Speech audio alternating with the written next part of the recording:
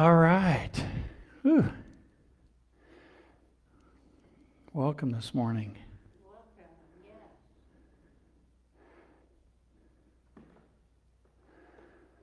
All right.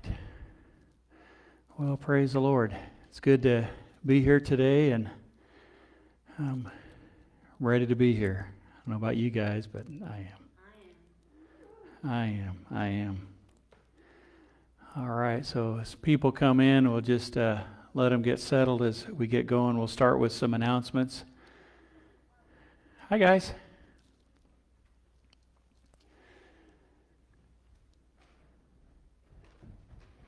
So we got things uh, this week. If uh, you guys want to come to prayer tonight or come to uh, Bible study on Wednesday, and then special this week we have Christmas Eve service.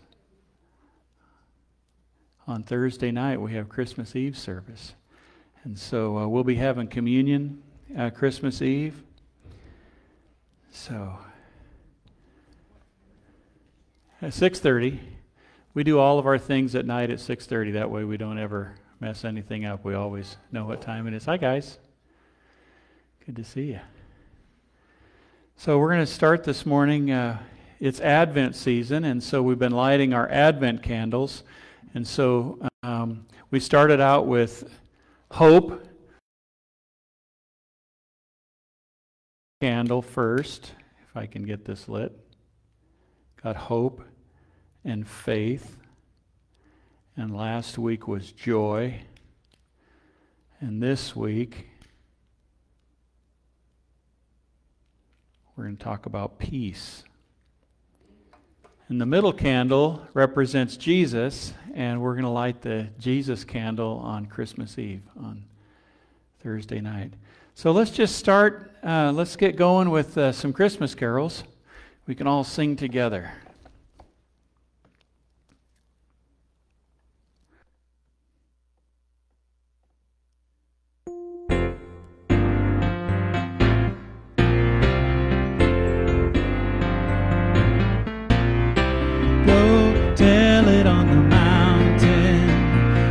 The hills and everywhere. Go tell it on the mountain that Jesus Christ is born.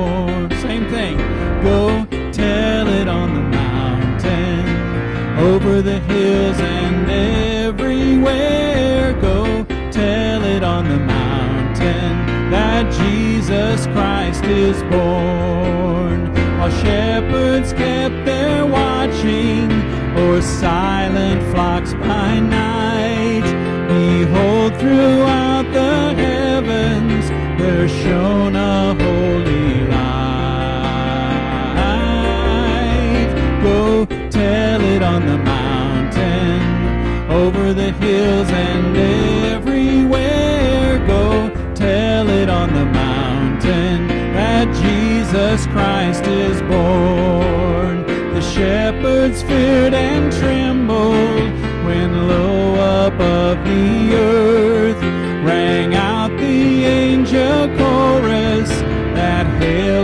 Savior's birth.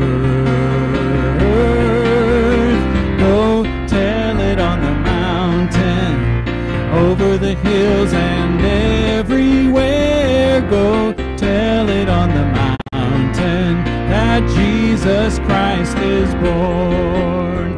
Down in a lowly manger, the humble Christ was born.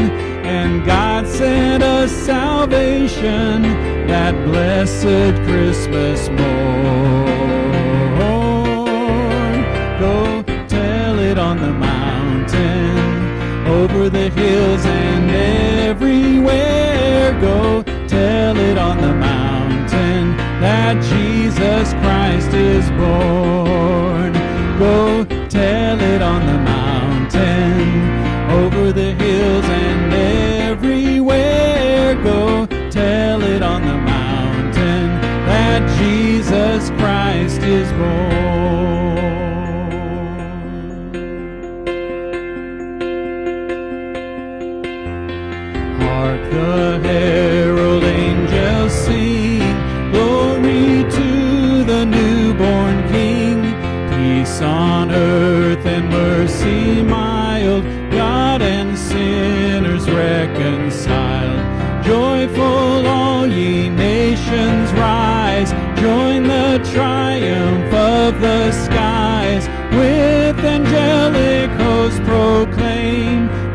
is born in Bethlehem.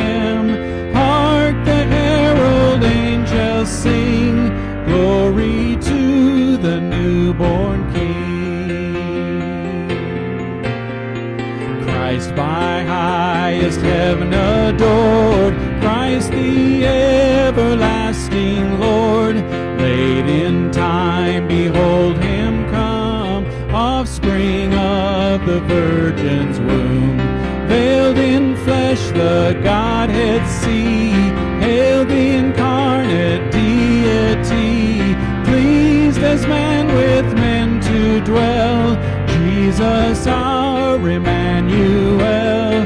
Hark, the herald angels sing, glory to the newborn King. Hail the heaven-born Prince of Peace, hail the Sun of Righteousness, light and life to all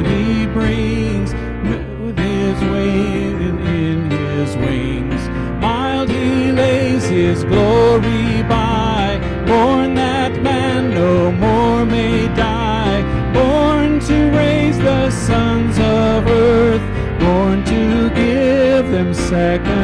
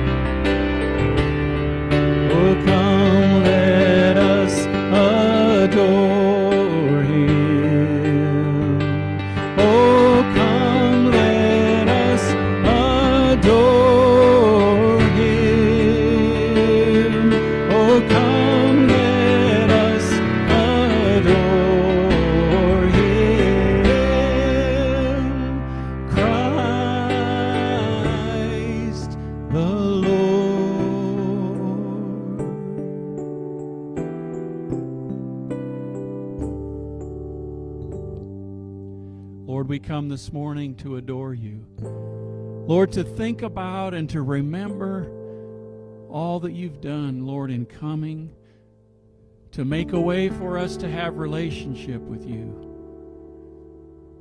How great is your promise to us, and how great is your gift. Lord, we adore you. We come and love you, oh God, because no one has ever loved us like you do. Oh, come, let us adore him. Oh,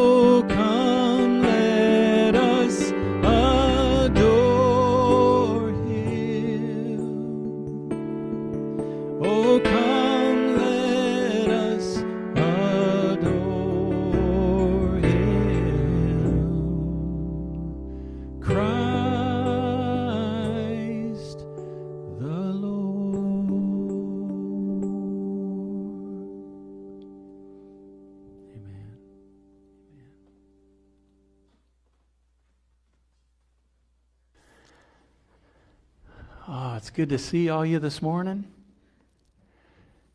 Do you like to sing to the Lord? I do. Thanks, guys. Praise God. It's good to see all your smiling faces and good to imagine the smiling faces that are out there somewhere. You know, it's funny that, uh, you know, it's interesting just this whole thing where we have not been able to have as many people at church, and so we've started streaming live, and so so the message goes out, and it's fascinating to find out who and where people all around the world right here with us. It's an amazing thing to see what God has done in a time when it's to many people been disastrous. God has shown us that this is His plan for right now. So we praise Him for that. So last Sunday we had some uh, wild technical difficulties, and I'm not sure we won't have any more today, but uh, we're going to try to not have any. So those of you who um, either watch the video online or look look on YouTube later on, you didn't have anything to watch because we just uh, kind of failed on many cases. And so a lot of times, well, we're always our plan is to um, double record. So even if we lose the live feed, we still have the audio that we can eventually put on. And we just blew it all last week, so so that's all right. So we're going to review just a little bit um, what we did last week. We're all done with Hebrews. We were in Hebrews for a long, long, long, long, long, long, long time. And, uh, but that doesn't mean, you know, we're still going to go back and touch that because there are some timeless things that we need to see out of that book. But last week, um, we started with the joy of the Lord is my strength. And it, as the third Sunday of Advent, we talked about joy because at Christmas time, joy is a big deal. You know, we really emphasis that joy, and yet a lot of times that joy we think of as happiness as the things that just make us happy, and that's not really what joy is. And so sometimes we allow circumstances around us. How many of you have done this? Sometimes you wake up and you're not doing too bad, and then some things start to happen and it just kind of wrecks your day. Anybody? Yeah, right? Okay, yeah. Everybody's laughing and nodding because it's true. And so we think about, so that's really happiness, though, because joy is something that's deeper down inside. And so last week we talked about Lyle, and uh, Lyle is a guy that I know, and Lyle uh, does, uh, well, I won't say what he does necessarily, but um, Lyle's job is hazardous to his skin. And we saw that last week. You know, when I was talking to Lyle a week ago Saturday, um, I'm talking to Lyle, and he's going to the front of his truck and everything, and I'm watching him that there's blood running down his hand. And I go, Lyle, you cut yourself. He said, Yeah, I know. He said, I do it all the time. He says, It's just part of the job. You know, and he didn't even care. I mean, he knew that there was something that had to happen. He knew that something needed to be done with his finger, but he saw that it, that, that wasn't the big thing because he had other things to do. There were other things. Come on in, guys. Let's come on in and find a seat. So we saw that it didn't matter to Lyle that it, the blood was running down his hand. I mean, it kind of did, but it wasn't that important to him because there were other things that really took up his time, other things that were just far and away more important than the blood that was running down his finger. And we find that joy does that to us too. That joy is that something that God puts deep inside us and it even happens such that sometimes when the little distractions come to take away our happiness, it can't because of the joy. So we found last week that joy isn't wiggled by our circumstances, its source is a lot deeper. So I got to confess to you that I too struggle with things that try to mess with my joy. It was interesting that after this fabulous message last week on joy, that's when we found out that none of the video worked, none of the audio worked, and we lost it all. And that really bothers me. Because it would be just like if you guys here that are here in person come to church and I didn't show up. If you come to church and you're waiting, where's Pastor Mark? Well, he didn't make it. You know, and so those things really bother me when we have things, people waiting to fellowship with us, and it's not there. And, and it was funny because I had just preached this message on joy and how we need to learn to not let circumstances take our joy. And here I am after service last Sunday, minutes after I finished, and inside I'm just going, Ugh.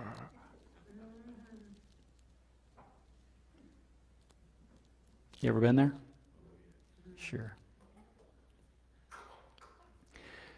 So we learned last week that joy isn't just positive thinking. A lot of times, people say, oh, you just need to be positive. You just need to be positive. And yet, joy isn't just positive thinking. Positive thinking helps, but it isn't just positive thinking. We saw that joy has its source in God's kindness and care for us. Because that's really the stability that's under us, what God has done. And so we looked at Luke chapter 2, and we see the angel said to them, Don't be afraid. So this is right when the shepherds are out in the field at night in the dark with their sheep, only stars, maybe the moon, and all of a sudden the sky is filled with angels, and they're terrified. And the angel says, Don't be afraid. For behold, I bring you good tidings of great joy, which will be to all people. And so the angel expected them that the news that the angel brought to get rid of their fear.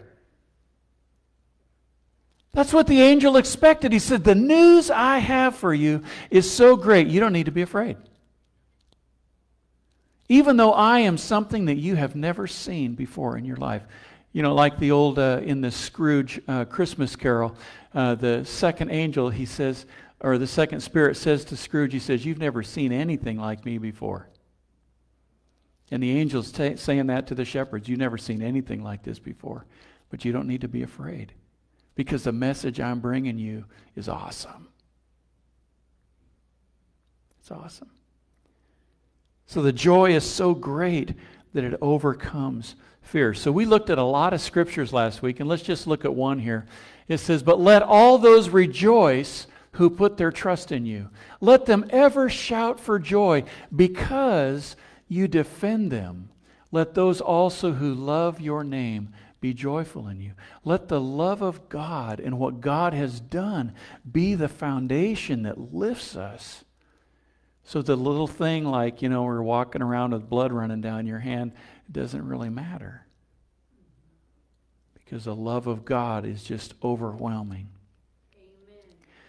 So we saw too last week that one of the evidences of the Spirit of God working in us is joy. We saw this verse in Galatians that says, But the fruit of the Spirit, remember we've talked immensely about fruit here at Community Chapel. Um, the fruit of the Spirit is love, joy, peace, long suffering, kindness, goodness, faithfulness. And so we see that when, we, when the Holy Spirit is working in us, you're going to start seeing those things work in your life. It's evidence. It's like an orange. You peel it and you expect there to be juice inside orange juice because that's what you get in an orange. And so when the Holy Spirit is working in us, Paul tells us in Galatians that we can tell that the Holy Spirit is working in us because we start seeing love and joy and peace and faithfulness and goodness. All these things start coming in our lives. So the converse is true too. If you don't see love, joy, peace, stuff like that starting to work in your life, then that's a good place to say, God, what's going on? What's going on in my life that I'm not seeing the fruit of the Spirit?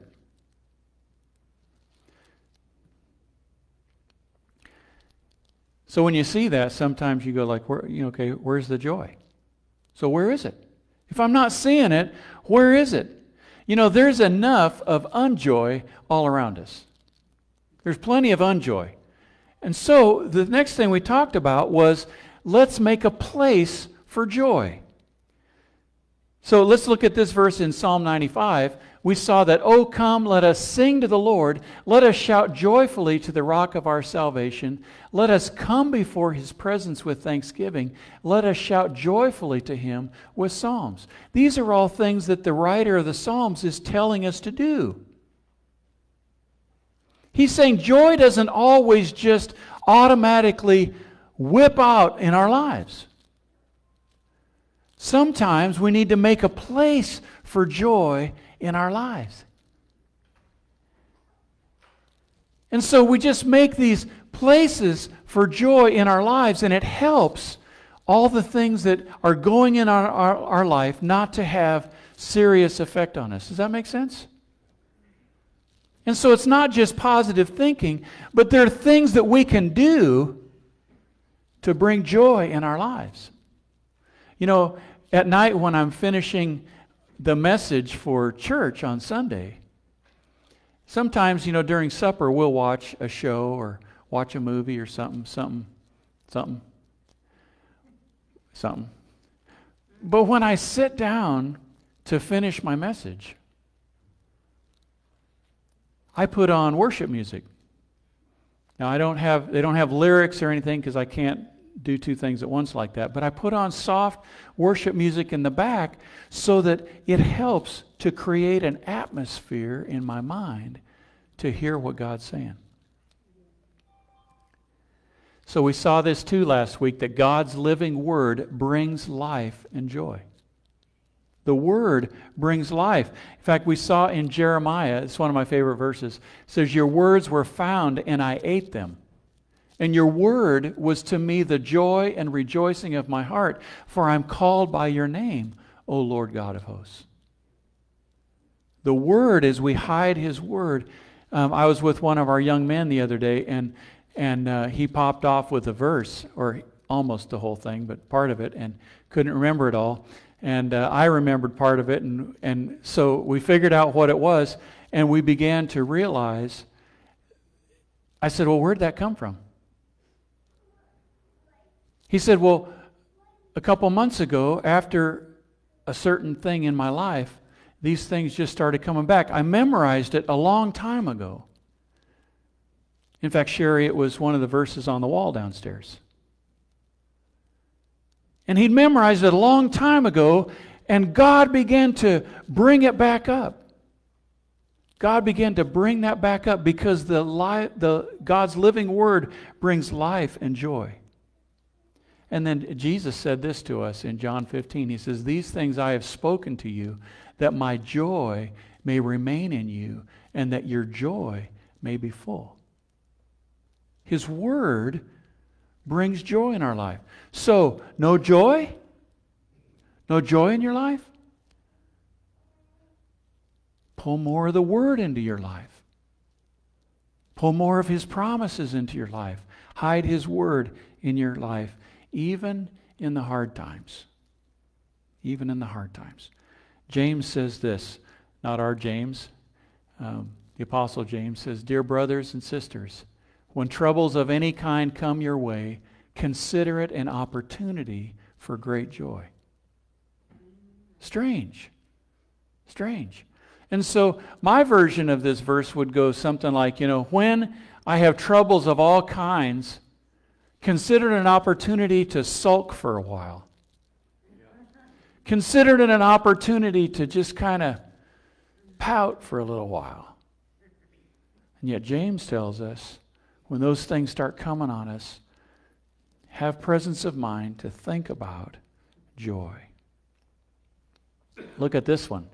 We saw this that Peter says this. He says, You love Jesus even though you've never seen him. Though you do not see him now, you trust him and you rejoice with a glorious, inexpressible joy. This verse, he says this right after talking to the people he's writing to about all the troubles they're going through. He says, Jesus brings joy in our life. Amen. Jesus brings joy. So, what if I. Oh, let, you know, I forgot to pull this one out, but uh, this is good too. You remember Paul and Silas? They were preaching the gospel and they got arrested and beaten and so their backs are raw from being beaten, and they're thrown in prison, and it's at midnight, and it says at around midnight, Paul and Silas were praying and singing hymns to God, and the other prisoners were listening. Singing hymns to God in the middle of the night with how many of you ever had like road rash or something? You know, can you just imagine being whipped and beaten, your back's bleeding in a cold, dank cell, maybe rats running around? sitting on the ground, singing praises to God. The joy, the joy. So, what if I don't have joy? This is what we talked about. We're not the only ones. We all struggle with joy. David wrote this and he said, to, he said Lord, re- restore to me the joy of your salvation and uphold me by your generous spirit. So, no joy? Ask God. Say, God, I used to have joy. I've had joy.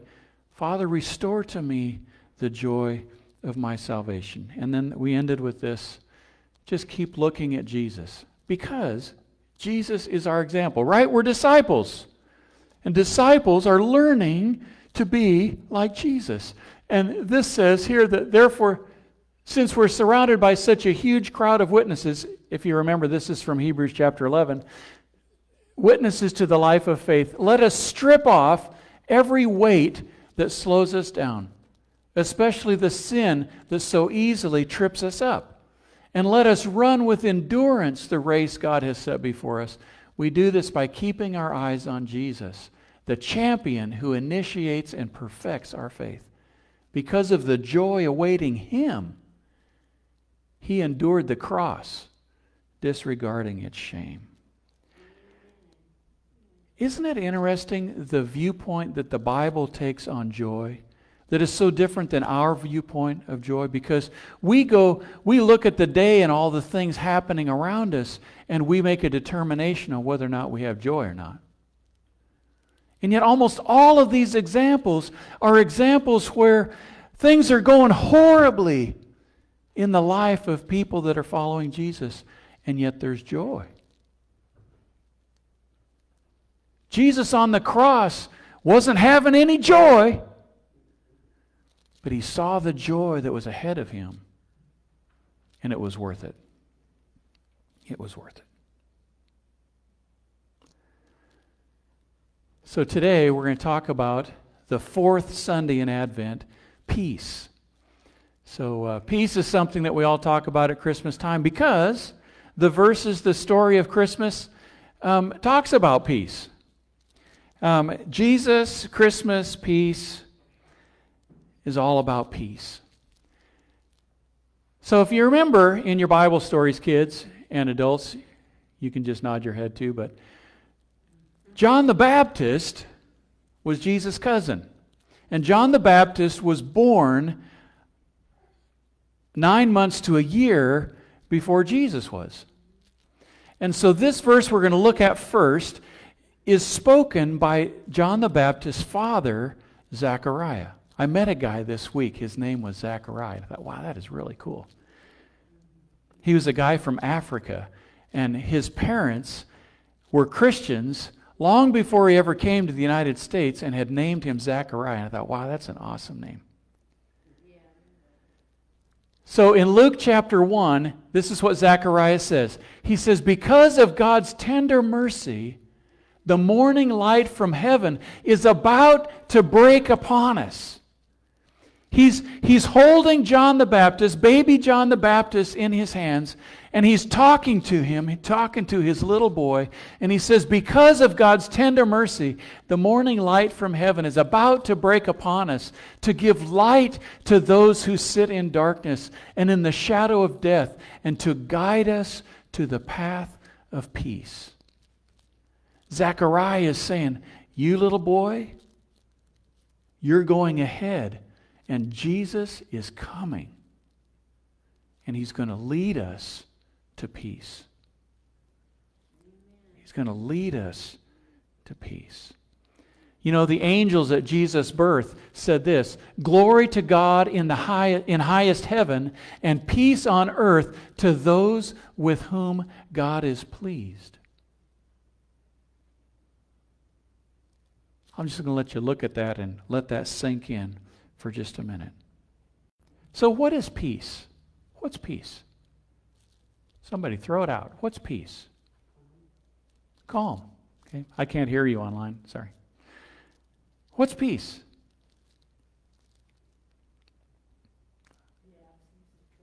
The absence of turmoil. Okay. Yeah.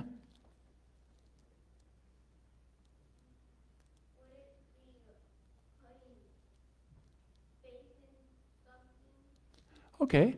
You can definitely, peace is definitely generated when we put our faith in God. Sure. Anybody else? Peace.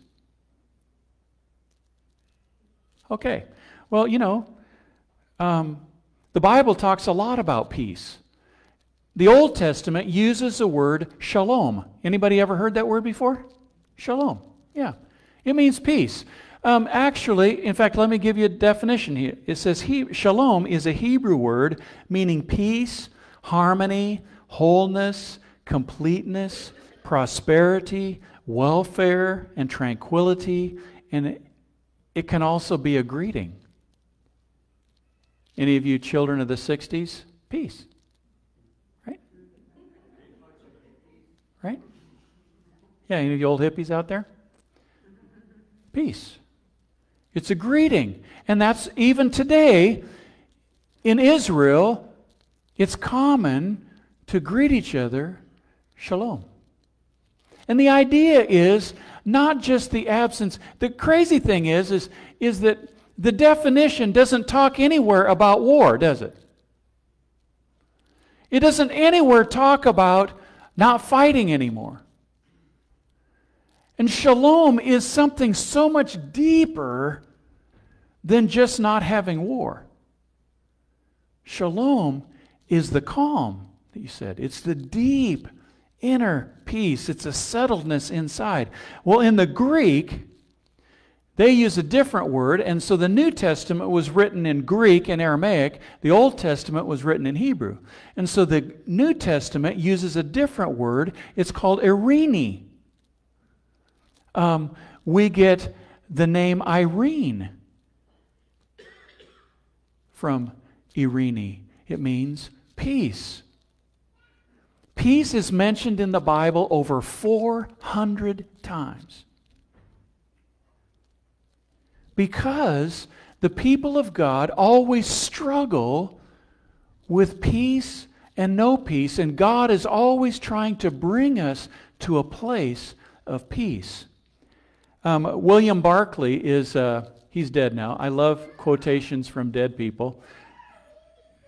But William Barclay was a uh, professor at the University of Glasgow, Scotland. And he was a godly man. And this is what he said He says, In the Bible, peace never describes simply the absence of trouble. Shalom means everything which makes a man's highest good. Christian peace is something quite independent of outward circumstances. A man might live in ease and luxury and on the fat of the land. He might have the finest of houses and the biggest of bank accounts and yet not have peace. On the other hand, a man might be starving in prison or dying at the stake or living a life from which all comfort had fled and be at perfect peace. Crazy. Because peace true peace and joy can be had regardless of the circumstances outside. And a lot of times we're trying to find peace, we're trying to find joy, and if we just made a little bit more money, if I could just have a different car, if I didn't have to struggle with this, if the kids would obey me more like they're supposed to, I would have more peace. And yet God is telling us that there are ways to have peace with nothing going right. With nothing going right. You know, the world has misunderstood the peace that God offers. I'm going to put that right up there.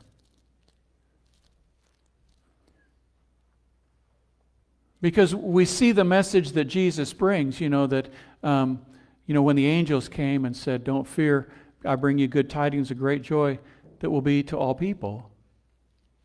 And so we just think that automatically that the peace and joy just comes automatically because Jesus came. And that isn't what the Bible teaches at all. In fact, Jesus did not offer peace to everyone on earth. Let me clarify that a little bit. Jesus coming, Jesus, you know, even at that time, they thought that Jesus coming would be peace. That Jesus was going to make it so that there wasn't any more trouble. I want, I want you to hear what Jesus said. Jesus said this in Luke chapter 12. He said, Do you think I have come to bring peace to the earth? No. I have come to divide people against each other. What? Where? I didn't put it in there, honest. Jesus says, I did not come to bring peace. I came, my coming is going to divide people. Why? Because he's called us to be outsiders. Jesus was an outsider, and as we, as his disciples, as his followers, follow him, there will be fallout. There will be people who don't like us following Jesus. There will be people who don't want to be around us following Jesus. There will be people who think we're nuts and crazy because we follow Jesus. In fact, Jesus said this and all nations will hate you because you are my followers. But everyone who endures to the end will be saved. But God, they hate me. I, I told you that. Didn't I tell you that? I told you that. I told you they hate you. He goes on to say this. He says, then you will be arrested, persecuted, and killed. You will be hated all over the world because you are my followers. What happened to the peace? The peace is inside. That's what Paul and Silas had and what we talked about last Sunday. Paul and Silas sat in a prison after being beaten with the peace of God, even though they were hated. Peace. I'm going to just throw this up here as a little advertisement. You know, a lot of times we don't think about, you know, in America, we have it pretty easy. We're able to come to church. You know, in China right now, the government is burning and tearing down churches because it's illegal. All around the world, my friend Zachariah, that I met the other day, came from an African country as a Christian, came to the United States because as a Christian, he was persecuted in his nation. It was illegal to be a follower of Jesus. VOMradio.net is Voice of the Martyrs. You know, we read all kinds of stories about people years and years, hundreds and thousands of years ago that died for the faith. But there are people right here today, every single day, giving their lives for Jesus. Every single day. You don't believe me? Go to VOMradio.net and just start going through the podcasts and the stories and reading the testimonies. In, in Young Men, uh, a few weeks ago, we listened to a story about a couple of young ladies from uh, Eastern Europe. Beautiful girls that were put in prison for months and months because they were handing out Bibles and it's against the law. These aren't African nations. These aren't Asian nations. These are Caucasian nations where it's against the law to do what we do right now. But it was interesting to listen to the peace that these people have. The peace. Following Jesus will bring with it outward strife, but inward peace. If we're living for Jesus, there will be times when we have struggles because of our faith. Not all, all ab- above and beyond just the normal everyday troubles. You know, we've talked about this a long time before, but you know, we are in this place, every single one of us are in this place because of missionaries. Somebody left their home in some land, some nation, some city, some something, and came to preach the gospel.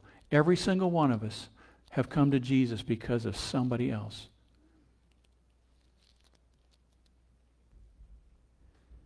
In Luke, Jesus says this He says, What blessings await you when people hate you and exclude you and mock you and curse you as evil because you follow the Son of Man, because you follow me? What blessings await you? It's like Jesus on the cross, we just read this morning in Hebrews, that because of the joy that Jesus knew was coming, he was willing to lay down his life on the cross. You know, no one took his life. In fact, Jesus even says this in Scripture. He says, No one takes my life from me. He says, I lay it down. And we see many times through Scripture where they tried to catch Jesus and take Jesus' life. And not until the right time was Jesus, did Jesus went willingly with them. When the soldiers came, they said, he said to them, Who are you looking for? And they said, Jesus. He said, Well, here I am. Take me and uh, let these guys go. We'll study that sometime too. Maybe Good Friday. That'd be a good time to do that. So, where does peace come from? I'm going to let Jesus tell you. Jesus says this True peace comes from God. He says this He says, I'm leaving you with a gift peace of mind and heart. And the peace I give is a gift the world cannot give. You know, so many people around us are trying to find peace in all kinds of different places. I mean, we could just go through here and we could just take a dozen different ways that people are trying to find peace. You know, when things don't go right, what do we do? We try to find some way to alleviate the pain, right? We eat, we watch TV, we take a hit of this, we take a hit of that. We smoke this, we smoke that, we drink this, we drink that, all for peace. Jesus says, I'm giving you peace. I have peace that you can have, and it's a free gift, and the world can't give it, so don't be troubled or afraid. Let's go on to this. It says, Peace I leave with you, my peace I give to you. Not as the world gives, do I give to you. Let not your heart be troubled, neither let it be afraid. Let's look at one more. Jesus says, I've told you all this so that you may have peace in me. Key, in me. So Jesus isn't just saying, Here, Connor, take a chunk of peace. He said, Here's the peace, but you have to be in me for the peace. You have to be in me. You can talk about peace all you want. You can talk about Jesus all you want. But if you're not in me, don't count on any peace. In me, you have peace. Here on earth, you will have many trials and sorrows, but take heart because I have overcome the world. I want you to look at this. Jesus' peace overcomes the fear and anxiety of the world because he has overcome the world. We can live when everyone else is in fear and anxiety, and we can live in the middle of it in peace. We can live in the middle of a country that's in upheaval politically. We can live in a country that's in upheaval physically with illness and disease and live in peace.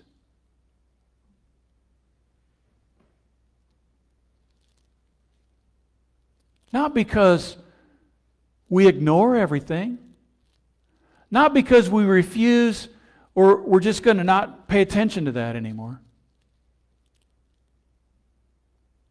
Because in Christ, in Him, when I live in Him, He's overcome all that.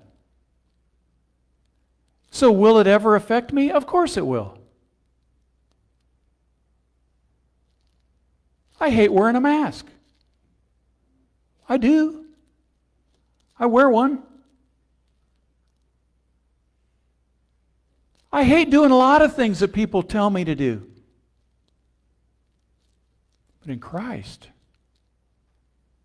I don't have to worry about that. I don't have to be all bent out of shape because I got to stick a piece of cloth on my face anywhere I go. I don't have to worry about who's running the country because God's running the country, right?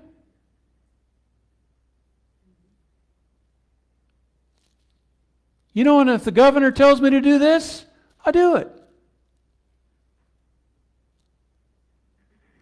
Because Jesus has overcome the world. And I don't live in turmoil because in Christ there's peace. Jesus says, I give you my peace. It's in me. It's in me.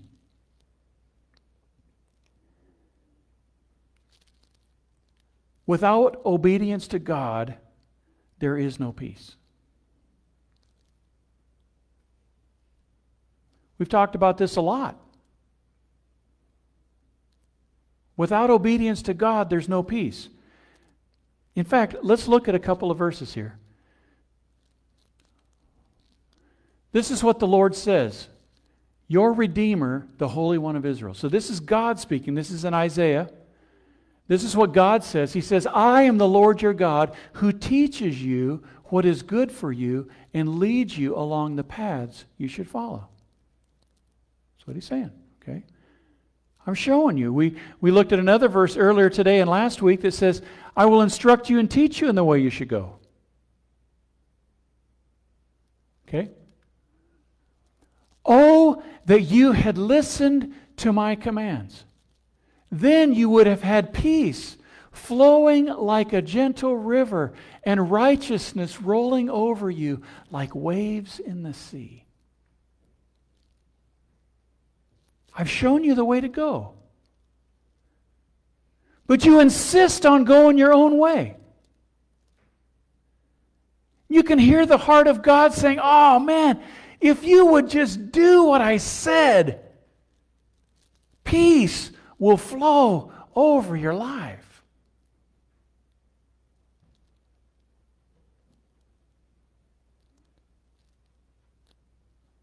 If you had listened to my commands, then you would have had peace flowing like a gentle river and righteousness rolling over you like waves in the sea.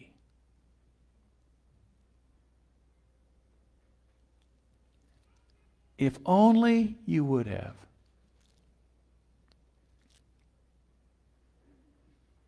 In Isaiah chapter 48, we see this too. But there is no peace for the wicked, says the Lord. You thought that was just a saying, right? It's God saying there's no peace for the wicked. So, as much as we want peace, we can't have it if we're wicked. William Barclay, the guy that I mentioned a little bit ago, he said this. He said, The explanation is that there is only one source of peace in all the world, and that is doing the will of God. I'm going to read that one more time. said the explanation is that there is only one source of peace in all the world, and that is doing the will of God. When we're doing something which we know we ought not to do, or, or are evading something that we know we ought to do, there is always a haunting dispeace at the back of our minds. Dispeace, not peace. So when we know that God's told us to do something and we don't do it, there's always this little tension, this dispeace in our lives. He says, but if we're doing something very difficult, even something we don't want to do, so long as we know that it is the right thing, there is a certain contentment in our hearts. In His will is our peace. In His will is our peace. You know, sometimes we say this I think I obey God, but sometimes I'm still not at peace. It happens. Because we live in this environment of tension. We live in a stressful environment all around us. And it's a normal thing for us in these bodies, in this place, for us to look and to see those tense things. But the God, God gives us the remedy for that too. He says this He says, Don't worry about anything. Instead, pray about everything. He says, Tell God what you need and thank Him for all He has done. Then, okay? Then. Then means after you've done what I've just said, so when the stress is getting you down, then you will experience God's peace, which exceeds anything we can understand. It's beyond our comprehension. His peace will guard your hearts and minds as you live in Christ Jesus. His peace will guard your minds and hearts. That's really the bottom line. Our minds and hearts. God has promised peace like a river. He says, if you follow my ways, if you do what I've told you to do, you'll have peace like a river. And even when you get distracted and looking at everything around you and it just all starts to crash in, he says, don't worry. Don't be anxious about it. Just bring it to me. Remember, Jesus is our mediator. Jesus made a way for us to go right in to the presence of God. And God says, was, says when it's all starting to crash in, just come right in. Just bring it to me. Tell me all about it. And then I'm just going to wave over you with peace. In fact, it'll be so incredible you won't even be able to imagine where this peace comes from. It's fabulous. But there's a process. Do what I say. You know, if you keep doing things the way you want to do, you keep doing things in your own way, don't expect peace. You can shoot up, drink up, sip up, eat up, and it won't bring you peace.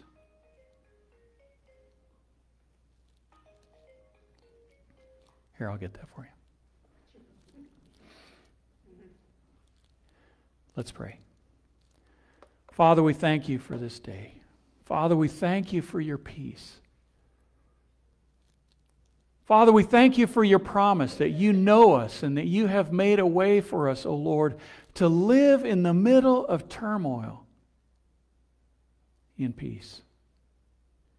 Lord, that the joy of the Lord that comes from deep within us is our strength. Lord, I pray at this Christmas time that you teach us your peace. Lord, as we experiment, as we bring to you the worries and the cares and the anxieties, as we come to you and thank you for all that you've brought our way, Father, we're going to look for your peace. We're going to look for it. Because you said it, and we believe you'll do it.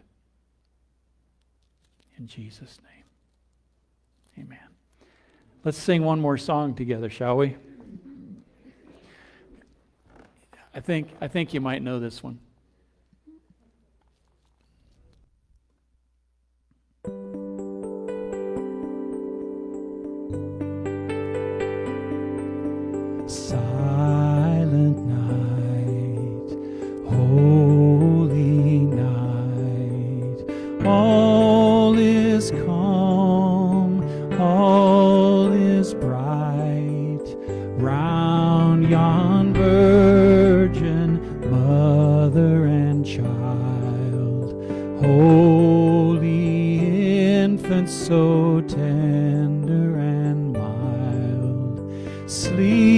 Redeeming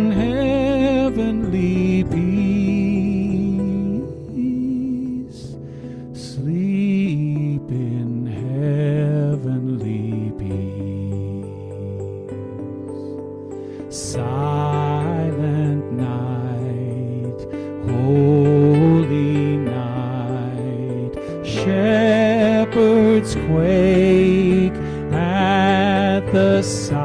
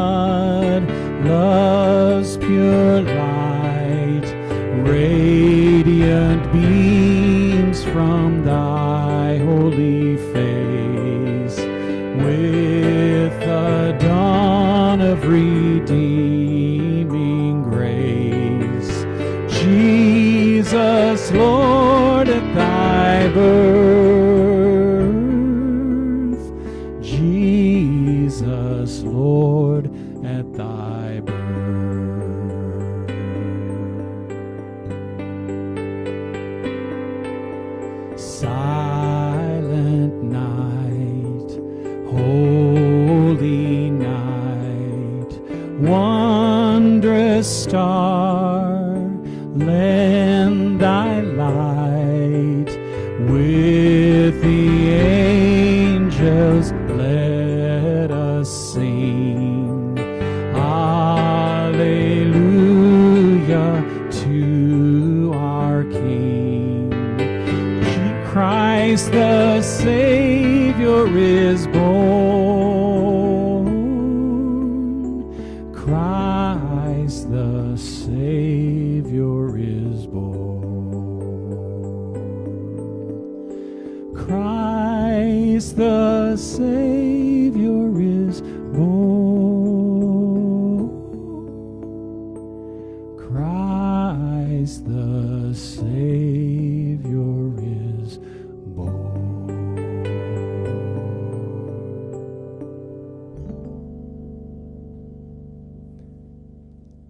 Christmas.